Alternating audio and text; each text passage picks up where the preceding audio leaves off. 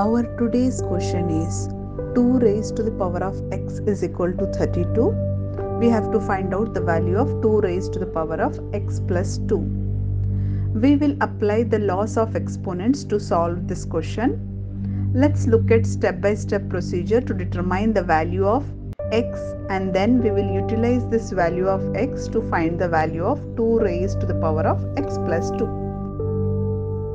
According to the given question, 2 to the power of x is equal to 32. 2 to the power of x equal to 32 can be written as 2 to the power of 5.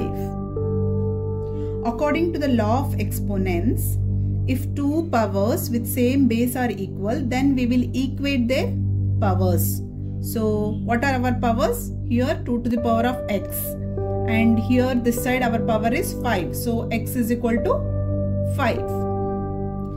Now, since we know the value of x, let's find out the value of 2 to the power of x plus 2. 2 to the power of x value is 5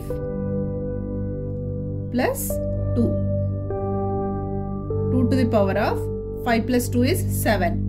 2 to the power of 7 is equal to 128. So the value of 2 to the power of x plus 2 is 128.